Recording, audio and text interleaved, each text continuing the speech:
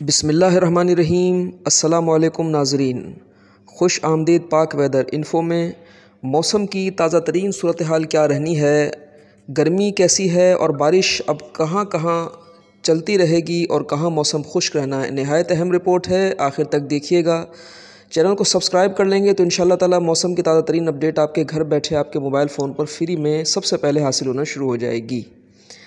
अगर हम ज़िक्र करते हैं मुल्क भर की मौसम की सूरत हाल का तो तकरीबन एक हफ़्ते तक शदीद किस्म की बारिशें जाला बारी पंजाब के कई इलाकों और हमारे बाला इलाकों में जारी रही है और उसके बाद अब शदीद तरीन गर्मियों की आमद आमद है।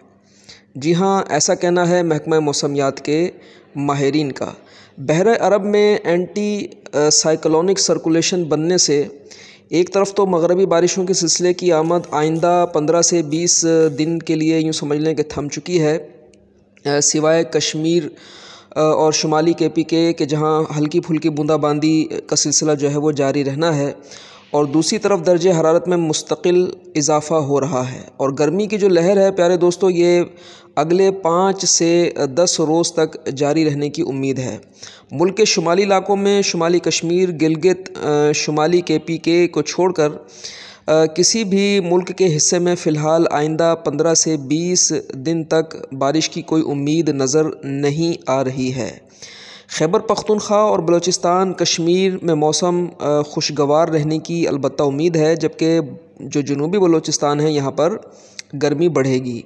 मुजफ़राबाद शुमाली के पी के दीर, चित्राल, गिलगित एबटाबाद गिलियात हरीपुर, बिशाम, सवात, बटखेला, नीलम, नारान, कागान बोनीर समेत मर्दान के कुछ इलाकों में बारिश का इम्कान मौजूद रहेगा।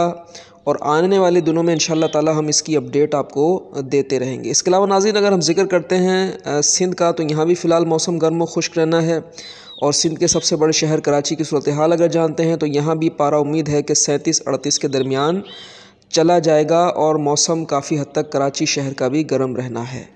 तो ये थी ताज़ा तरीन मौसम की अपडेट। अपना अपने आसपास के लोगों का बहुत ज़्यादा ख्याल रखें, जो गर्मी से एहतियातें की जाती हैं, उन पर अमल पैरा रहें।